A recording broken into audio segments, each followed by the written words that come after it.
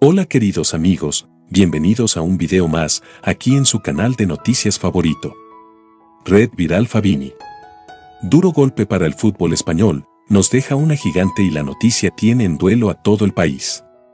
Quédate hasta el final de este video, donde te vamos a contar todos los detalles de esta noticia, pero antes no olvides suscribirte a nuestro canal y activa la campanita de notificaciones para que te enteres de todas las noticias de la actualidad y el espectáculo que subimos a diario.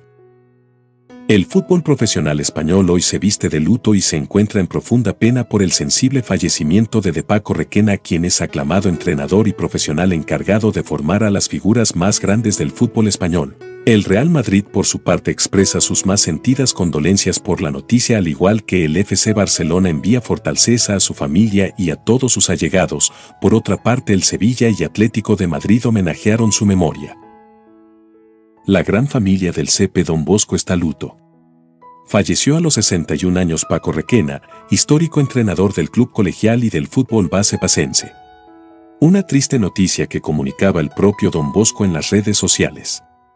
Dedicado toda su vida a los chavales de la cantera del Don Bosco donde pasó por todos sus equipos, Requena también entrenó durante una etapa al Badajoz Promesas en 2014.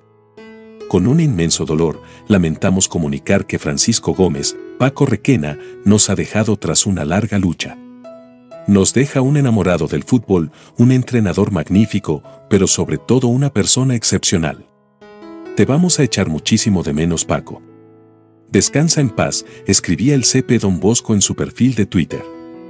La A de Villar del Rey, último equipo senior al que entrenó, comunicó su fallecimiento, recordando su andadura dirigiendo al club en las últimas temporadas. Posteriormente, numerosos jugadores y entidades tanto locales como regionales mostraron sus condolencias. Requena, natural de Quintana de la Serena, entrenó a otros equipos como el A de Villar del Rey, club que también ha emitido sus condolencias a través de las redes sociales.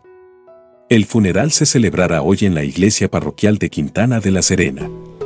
Hemos llegado al final de este video. Tu opinión es muy importante para nosotros. Te invitamos que comentes, te suscribas en el botón que ves en pantalla y haz clic en la campana gris para que sea notificado de las mejores noticias.